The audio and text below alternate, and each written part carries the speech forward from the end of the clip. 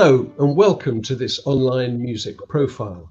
My name is Simon Broughton. I'm editor-in-chief of Songlines music magazine. This webcast is with Maria Pomianowska, someone who's made a career out of reviving archaic instruments and creating something new out of them. Maria, uh, hello. Hello, nice to see you. Maria is a very prolific musician. She's done a large number of international collaborations over the years. She's gone into early music and folk music. But I was most struck by a record she made in 2016 called Voice of Suka. Here's a brief clip.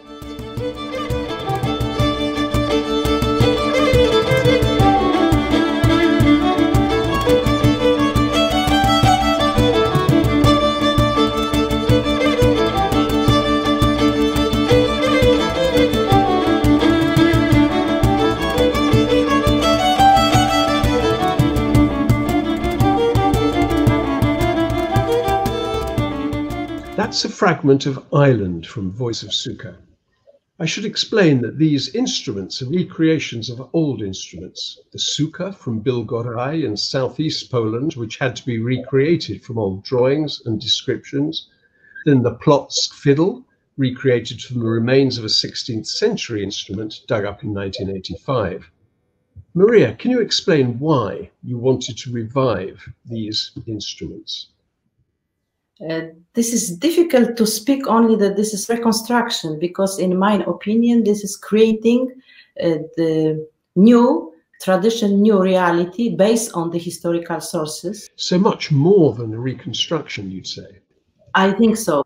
At the start uh, i was sure that uh, neither i nor anyone else uh, would be able to reconstruct with the you know with precision the picture of how the Biłgoraj Suka uh, was played in the past uh, because if we deal with the professional instruments uh, I can say we, we have a greater amount of source material. But in the case of folk instruments, the knowledge about this kind of instrument is very limited. We have just the fragment of instruments. I can see behind you on the wall a whole load of folk instruments from various parts of the world, mainly mainly Asia. And these are instruments that you've played or you've worked with musicians who play these things. And these these have been a part of of recreating these Polish instruments anew, haven't they?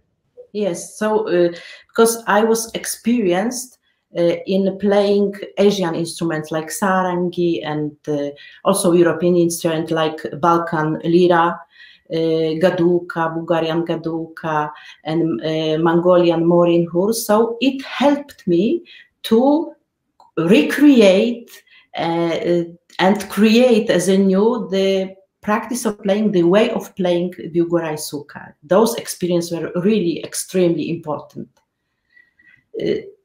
It's quite difficult to define this music, I think, because uh, you could say it's classical music, you could say it's folk music, or maybe it's something else entirely altogether. How how do you see it? Where does it sit on the uh, the Polish music scene? The main idea was to play the very typical Polish old instruments, which fall into oblivion, disappear completely, and uh, together with Andrzej Kuczkowski, Wadalik, we recalled them to life. Before violin started to be popular in Polish folk music, of course, this kind of instruments, uh, which I reconstructed, were uh, very, very um, popular all over the country. Uh, so my idea during creating the band was to uh, create the sound of, po of Polish music, of Polish spirit, but using many, many inspiration from other traditional culture from all over the world, especially from Asia.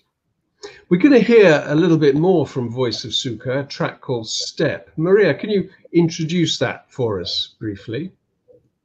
So this is my composition, which I uh, wrote a few years ago, but the main melody I took from Rajasthan from the north part of India. So this melody uh, I think, very well with the Polish uh, instruments.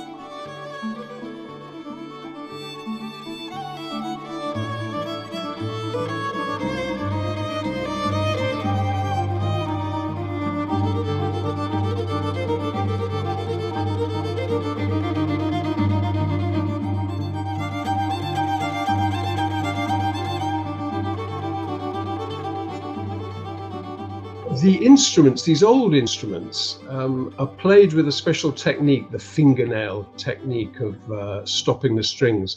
Can you uh, explain that for us or even demonstrate it? So I'm putting my fingers between strings. This is why this neck is so wide. So this is nothing like violin technique where you push the string down on the fingerboard with your finger. Yes, I'm pushing strings with my nails aside you know? And so i'm jumping from one string to another. So this is a quite difficult uh, technique if we compare with the cello technique or violin technique uh, but also it um, uh, it is possible playing fingernail technique to produce uh, very special ornaments and melodic lines difficult for uh, for instruments which not use fingernail technique We've got some film first of you playing a tune on the Biłgoraj Suka, which was recreated from these 19th century drawings.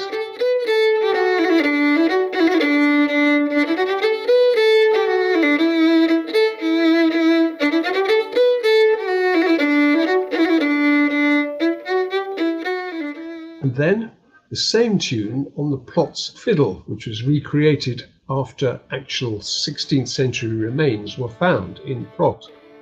And this sounds almost like a small ensemble plan.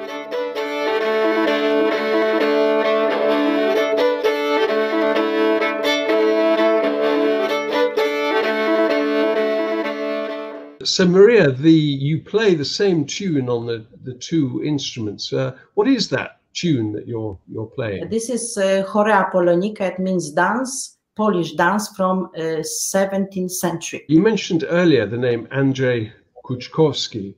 Uh, he's an instrument maker who you worked with to recreate playing versions of these instruments. Can you tell me a little bit more about that process of working with him? Yes. So when I uh, when I met him in 1993, uh, we started to recreate sound of the instrument because that time the in museum already uh, Suka and Płock fiddle existed, but nobody was playing. So uh, I ordered bigger size than this in museum uh, for playing. It was my intuition and my choice because I was thinking that the sound will be better. And we spent many days, many nights, many hours discussing the new size of instrument, uh, the number of strings, of course. I made a lot of experiments and some of them were successful, some not, so I just gave up. And uh, finally, uh, together we created you know, forgotten forgotten uh, sound, let's say. Can you tell me a little bit more about your group, Voice of Suka? So I gather musicians who are uh, Uh, good in playing those instruments. Of course, the, I train them myself because they are my students or graduate from the Krakow Academy of Music. So this is for me big joy that I could contribute also in this way to, to, to teach young people and now they are a great artist playing with me.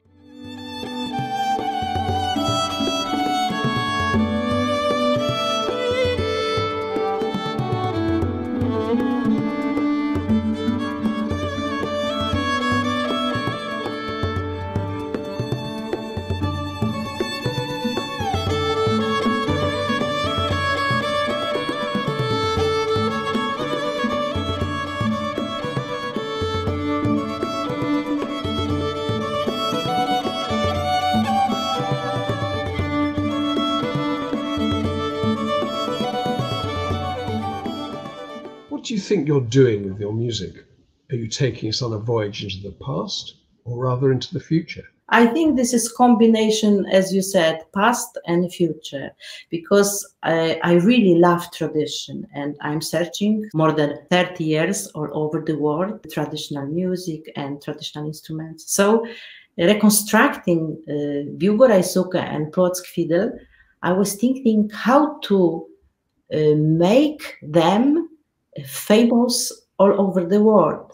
Uh, uh, because I want to show to contemporary audience that Polish music, Polish roots are so wonderful, but at the same time, the old reconstructed instruments uh, are able to play, uh, you know, nowadays on uh, very important stages, and they can play as interesting as violin or cello. So this is this combination of future and past. A very good point.